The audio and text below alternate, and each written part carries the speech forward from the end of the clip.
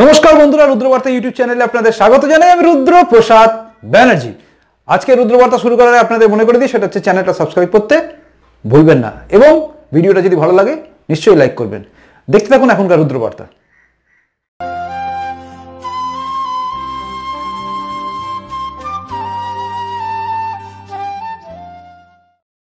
আজকে রুদ্রবার্তা শুরু করার আগে আপনাদের বলে দিই, সেটা হচ্ছে গতকাল নরেন্দ্র মোদী অর্থাৎ দেশের এখনও পর্যন্ত থাকা প্রধানমন্ত্রী পশ্চিমবঙ্গ সফর করে গেলেন। পশ্চিমবঙ্গে দু জায়গায় ব্রিগেড এবং শিলিগুড়ি দু জায়গায় তিনি সভা করলেন, জনসভা। দু জায়গায় উপচে পড়া ভিড় ছিল, ব্রিগেডের জনসভায় যে ভিড় সেটা প্রচণ্ড বেশি। কীরকম কি হচ্ছিল তার একটা ঝলক আপনারা দেখুন ব্রিগেডের।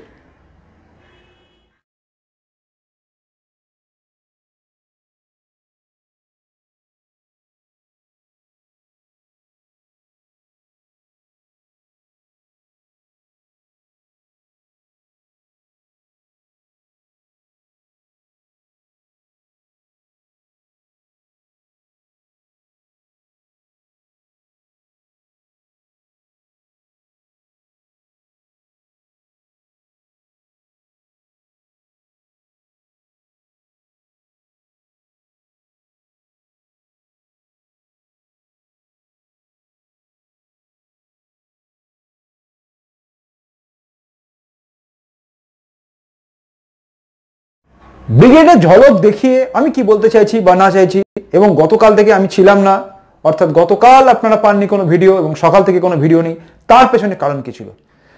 তার পেছনে কারণ ছিল আমার, অর্থাৎ রুদ্রপ্রসাদ ব্যানার্জির ঐকান্তিক প্রচেষ্টা মানুষের মাঝে পৌঁছে গিয়ে তাদের খোঁজ খবর নেওয়া। যে তারা কি চাইছে? আর পশ্চিমবঙ্গে যেহেতু গতকাল ব্রিগেডে ছিল জনসমুদ্র সেখানে একটু খোঁজ খবর নেওয়ার দরকার ছিল। এবং তার উপরও দরকার ছিল মানুষের ভিড়ে কদিন ধরে মিশে খোঁজ নেওয়া। ট্রামে, বাসে, ট্রামে বলব না, ট্রেনে, বাসে। ট্রেনে, বাসে চড়া জীবন আমার। তো তাদের মধ্যেখান থেকে যা পেলাম, সেটা নিয়ে আমি আপনাদের ছোট করে বলি। সেটা হচ্ছে, পশ্চিমবঙ্গে একটা অদ্ভুত শাসন ব্যবস্থার কায়েম হয়েছে ভোটের ঠিক প্রাকালে সে কায়েম হচ্ছে কীরকম ভাবে সেটা হচ্ছে নেতারা, অর্থাৎ তৃণমূলের সরকারি দলের সমস্ত নেতারা ওপর স্তর থেকে নিচু স্তর অব্দি একটা অদ্ভুত সিস্টেম চালু করেছে। যে সিস্টেমটা কিন্তু খুব ভয়াবহ। সেটা হচ্ছে প্রতিটা জায়গায়, প্রতিটা পাড়ায়, প্রতিটা ক্ষেত্রে গিয়ে গিয়ে প্রচার করা এবং বোঝানো যে আপনারা, অর্থাৎ যারা ভোট দেবেন, তারা এতদিন পর্যন্ত মমতা বন্দ্যোপাধ্যায় সমস্ত সুযোগ সুবিধা নিয়েছেন। এখন যদি আপনারা অন্য জায়গায় ভোট দেন, তাহলে আমরা জানতে পারব এবং পরবর্তী ক্ষেত্রে আপনাদের বিরুদ্ধে কিন্তু আমরা স্টেপ নেব অর্থাৎ লোকসভা ভোটে যা রেজাল্ট হবে, তার ফলে কিন্তু বিধানসভার কিছু হবে না এবং বিধানসভায় আমরাই আছি, তো দু হাজার একুশের মধ্যে আমরা অনেক কিছু করব। এই একটা চাপ্পা প্রচ্ছন্ন হুমকি চারিদিকে চলছে প্রত্যেকটা গ্রামে পাড়ায় পাড়ায় ডেকে ডেকে নিয়ে এসে মহিলা থেকে বাচ্চা তাদেরকে বোঝানো হচ্ছে। ক্লাবে ক্লাবে খবর দেওয়া হচ্ছে যে দু লাখ টাকা তোমরা পেয়েছ, এবার তোমাদের নামতে হবে। একটা ভোটে যেন না যায়। খবর এইভাবে নেওয়া হচ্ছে, কারা বিজেপি করছে খবর নাও। লোকাল স্তরে বলা হচ্ছে, কারা বিজেপি করছে তাদেরকে খবর নাও, কারা এখানে হিন্দুত্ববাদী প্রচার করছে তাদেরকে খবর নাও এবং তাদেরকে চিহ্নিত করো। কারা কারা কার বাড়িতে আসছে, না আসছে, এই সমস্ত কিছু চিহ্নিতকরণের ব্যাপার চলছে। আমি কিন্তু এক বর্ণ মিথ্যে কথা আপনাদের বলছি না। আর উল্টো দিকে বিজেপির অর্থাৎ যেহেতু এই মুহূর্তে ভারতবর্ষের বুকে সরকারি দল এবং পশ্চিমবঙ্গে যেহেতু দ্বিতীয়, অর্থাৎ বিরোধী পক্ষ হয়ে উঠেছে, সেক্ষেত্রে দাঁড়িয়ে বিজেপির নেতারা, উপর স্তরের নেতা থেকে শুরু করে নিচ স্তরের নেতারা বিজেপি যে সমস্ত নেতারা আছে, তারা নিঃসন্দেহে অবগত আছেন এই ব্যাপারটা। আর যদি অবগত না থাকে তাহলে জেনে রাখবেন রুদ্রপ্রসাদ ব্যানার্জি দায়িত্ব নিয়েই বলছে, এটা পুরো পশ্চিমবঙ্গ জুড়ে বিভিন্ন জায়গায়, যেখানে যেখানে তৃণমূলের ক্ষমতা বেশি আছে, হচ্ছে। এবং তৃণমূল স্তরে একটা কম্পিটিশন তো দেখেইছেন টাকা পয়সার কম্পিটিশন চলছে, যে ভালো করতে পারবে এটা আপনি আসানসোলে দেখেছেন। বিভিন্ন জায়গায় কিন্তু এটা চলছে, অর্থাৎ বিরোধী শূন্য করে দেওয়ার চিন্তা ভাবনা নিয়ে চলছে। ফর্টি পার্সেন্ট বুথে আমার মনে হয় যা আমরা খবর পেয়েছি, সেই অনুযায়ী ফর্টি পার্সেন্ট বুথকে সেন্সিটিভ বুথ হিসেবে গ্রহণ মানে কি বলব আর কি? সেন্সিটিভ বুথ হিসেবে এখানে বলা হয়েছে ডিক্লেয়ার করা হয়েছে। তো সেন্সিটিভ বুথ ফর্টি পার্সেন্ট হওয়ার ফলে বাকি সিক্সটি পার্সেন্ট বুথ কিন্তু সেন্সিটিভ নয়। তাহলে সেক্ষেত্রে বিজেপির কর্মী এবং অন্যান্য দলের যে সমস্ত বিরোধী রাজনৈতিক দল আছেন, তাদের কর্মীরা কতটা আটকাতে পারবেন তা আমরা বুঝতে পারছি না, কিন্তু আমরা চাইব ভোট নির্বিচারে হোক, নির্বিকারে হোক সব কিছু ভালোভাবে হোক। কিন্তু তবুও কিন্তু তবুও বলে একটা কথা রয়ে যাচ্ছে, সেটা হচ্ছে পশ্চিমবঙ্গ এই মুহূর্তে যে চাপের একটা পরিস্থিতি তৈরি হয়েছে, সেই পরিস্থিতিতে দাঁড়িয়ে কিন্তু গতকালের ব্রিগেড একটা জিনিস প্রমাণ করছে যে মানুষ আস্তে আস্তে হলেও ঠিক করে নিয়েছে ডিসিশন যে কি করবে। তার কারণ আমি আপনাদের বলছি, আমি যাদের সাথে সঙ্গে মিশেছি, যাদের কথা বলেছি, যাদের কথা দেখেছি, যাদের সঙ্গে কথা বলেছি, তাদের ম্যাক্সিমাম লোকই হচ্ছে, বেরিয়ে এসছে তারা। কাজ থেকে বেরিয়ে গেছে। এলাকায় বলা যাচ্ছে না তারা তিন বিজেপির সঙ্গে যাবে বলে। যারা যারা বাসে উঠছে তাদেরকে টার্গেট করা হচ্ছে।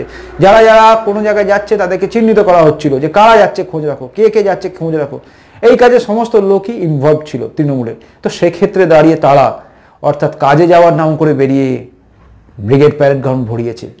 যারা কোনো কিছু পরোয়া না করেও বেরিয়েছে তাদের কথা তো আমি বাদ দিলাম, কিন্তু সাধারণ পাবলিক আম পাবলিক যারা ফ্যাক্টর তারা কিন্তু বেরোনো শুরু করেছে।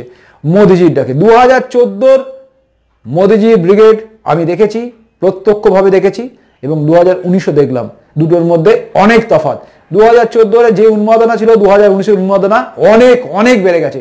কারণ এর সঙ্গে শুধু বিজেপি নয়, বিজেপিকে ভালোবাসা সমস্ত, যে সমস্ত লোক ছিল তারা নয়, তার সঙ্গে যুক্ত হয়েছে কিন্তু তৃণমূল থেকে চলে আসা বহু মানুষ, এবং বিতশ্রদ্ধ হয়ে সিপিএম থেকে চলে আসা বহু মানুষ, বিতশ্রদ্ধ হয়ে কংগ্রেস থেকে চলে আসা বহু মানুষ। কাজেই সমাগমটা যেটা ছিল সমুদ্র, এটা মহা সমুদ্রে পরিণত হয়েছে, যেটা আমি দেখলাম। এবং সাধারণ লোক কিন্তু বেরিয়ে আসছে। সাধারণ বাড়ির মা বোনেরাও কিন্তু বেরিয়ে আসছে। ট্রামে বা বাসে, বাসেই বলব কারণ বাসে করেই ফিরতে হয়েছিল, প্রচণ্ড গলদঘর্ম অবস্থায় ফিরতে হয়েছে। পুরো জ্যাম পুরো জ্যাম। তো সেখানে দাঁড়িয়ে অনেকেই কিন্তু যখন মানে বিরক্ত প্রকাশ করছে, পাশ থেকে আরেকজন বলে দিচ্ছে, চলো চলো, ঠিক আছে। এ তো অনেকে দেখেছি আমরা। আমাদের জীবন তো এরকমভাবেই চলেছে। ভালো লাগছিল শুনতে। আমি তো ভিড়ের মধ্যে ছিলাম, শুনছিলাম কিছু লোকের কথা। ভিড়ের মধ্যে মানুষের কথা সবাই তো খেয়াল করে না। ফেরার সময় ট্রেনেও দেখলাম একই অবস্থা। সাঁতরাগাছি প্ল্যাটফর্ম ভর্তির লোক। তাদের একটাই মানে তারা কেউ এসছে মেদিনীপুর থেকে। তারা বাসে আসতে পারেনি, তার কারণ বাসে করে গেলে তাদের পক্ষে ক্ষতিকারক হবে। সেক্ষেত্রে দাঁড়িয়ে তারা ট্রেনে এসছে। কে কীভাবে কাজে বেরোবার নাম করে চলে এসছে সেই গল্প সেখানে চলছে। মুড়ি ভেদে খাওয়া হচ্ছে। এই এক উন্মাদনা। পরিবর্তন আসবে, পরিবর্তন আসতে চলেছে। সেক্ষেত্রে আপনাদের আবার বলছি সেটা হচ্ছে, রুদ্রবার্তা চ্যানেল কিন্তু একটু অন্যরকম পাবেন। যে অন্যরকমটা হয়তো আপনাকে সাধারণ লোক বলবে না। দেখুন, আমি কোনো রাজনৈতিক বিশ্লেষক নই, তথাকথিত কোনো বুদ্ধিজীবীও নই।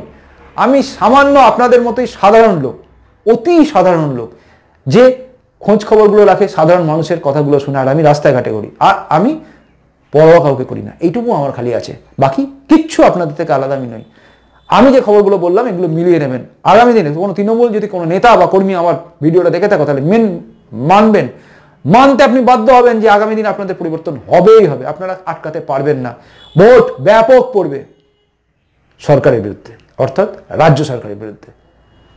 তো রুদ্রবার্তা এখন এইটুকুই ছিল। পরে রুদ্রবার্তা এবং ভোটের রঙের রুদ্রবার্তা, এগুলো সবই থাকবে আগামী কাল সকাল থেকে এবং কালকে দেখবেন ভোটের রঙের রুদ্রবার্তার সঙ্গে মমতা ব্যানার্জির মুখে মন্দির। বলতে পারেন, ভূতের মুখে রাম নাম। দেখতে থাকুন আজকে রুদ্রবার্তা, নমস্কার, চললাম। বন্দে মাতারাম, ভারত মাতা জয় হোক, জয় হিন্দ। এখনকার মতো রুদ্রবার্তা শেষ হলো। দেখতে দেখুন রুদ্রবার্তা, চ্যানেলটা সাবস্ক্রাইব